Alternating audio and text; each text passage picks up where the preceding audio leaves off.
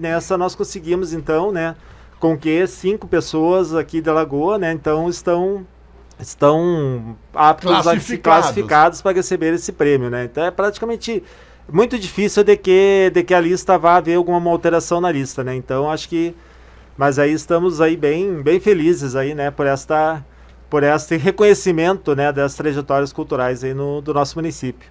Os classificados Diego Matheus Vieira Granza, categoria audiovisual, Flávio Arante, categoria Memória e Patrimônio, Ida Costa, categoria Artesanato, Lucas Seganfredo Rec, categoria Teatro, e Márcia Maria Ferreira, categoria Música. Sim, então, né, foram uh, foram 5.218 inscrições no estado, né, para 1.500 para esses 1.500 prêmios, né? Então mais de 5 mil inscrições. Mais de 5 eh, mil inscrições e na verdade ele, ele foi um pouco setorizado por regiões, né? Então, por exemplo, nós aqui Lagoa Vermelha faz parte da região funcional 9, né, que são 130 municípios e que tiveram 394 inscritos, né, nas mais diversas categorias.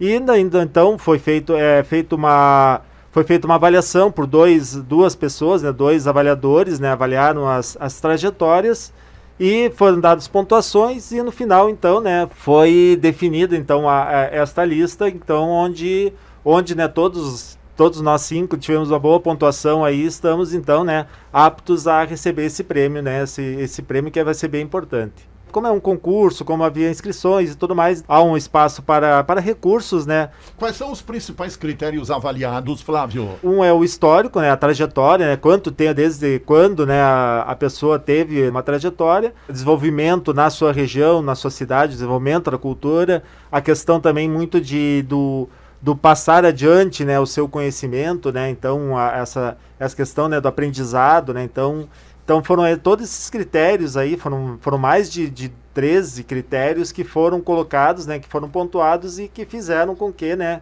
desse essa classificação.